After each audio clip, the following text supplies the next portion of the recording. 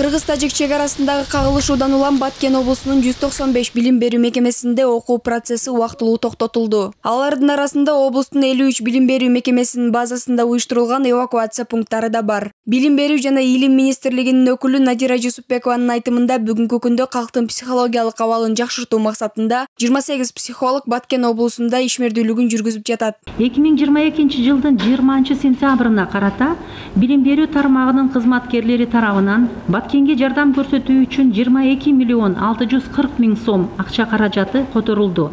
Жана гуманитардык жардам чогултулуп жиберилди. Психологиялык жардам көрсөтүү максатында психологдор кербени уюштурулуп жыйырма сегиз психолог жогорку окуу жайлардын кызматкерлери баткенге аттанышты ал эми баткен шаарында жана облус аймактарында окуу процесси азырынча жандана элек. Куралдуу жаңжалдан он мектеп жети бала бакча жабыркаган. Калган билим берүү мекемелеринде эвакуацияланган жай тургундар жайгаштырылган. Баткен облусунда бир жүз токсон беш билим берүү мекемесинде окуу процесси убактылуу токтотулду. Алардын арасында облустун элүү үч билим берүү мекемесинин базасында уюштурулган эвакуация пункттары бар башкача айтканда баткен шаарында жана баткен облусунда окуу процесси азырынча жандана элек. Лелек районунда кырк беш мектеп жыйырма үч бала бакчаларда окуу процесси кадимкидей жүрүп жатат. Ал эми жыйырма бир мектеп жана кырк бала бакчада окуу процесси жандана элек.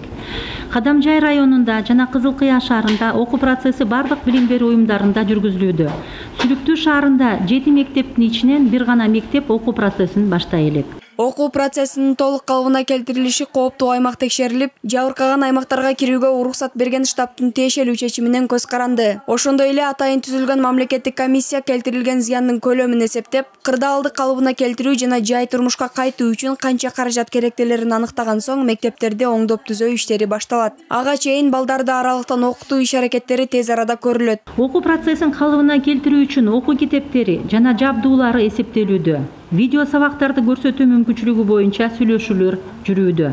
Окуу процессин оффлайн форматта жүргүзүү үчүн бузулбаган имараттар бир нече мөөнөт менен нөөмөт менен колдонулат. Окуу процесси үзгүлтүккө учурабашы үчүн балдарды жакынкы мектептерге да бөлүштүрөбүз.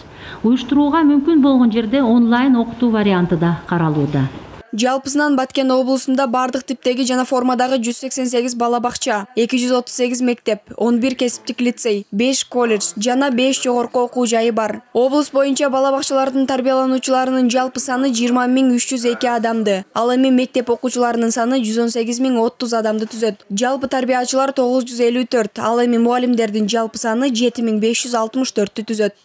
Жанара абдуллаева урмат мамбеталиев бешинчи канал